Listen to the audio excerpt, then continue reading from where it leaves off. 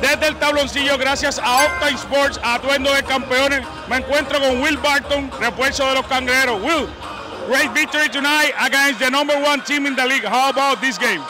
Uh, we needed this game. We played them last time at their home. Go Will! and we lost a, uh, a heartbreaker on the buzzer beater. So we wanted to come in here and protect our home court and get a little revenge.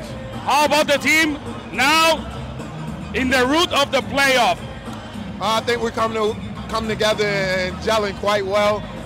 Um, we just got to start playing our best basketball, stick together, keep playing defense, and getting after it. And I think we'll be okay. We got a lot of talent on this team, so we just handle the small things and you know play for one another. We'll be a tough out. Thank you, Will. Aquí reportando para la Academia Deportiva desde el tabloncillo Roberto Clemente con Will Barton de los Cangrejeros de Santurce. Thank you, thank you.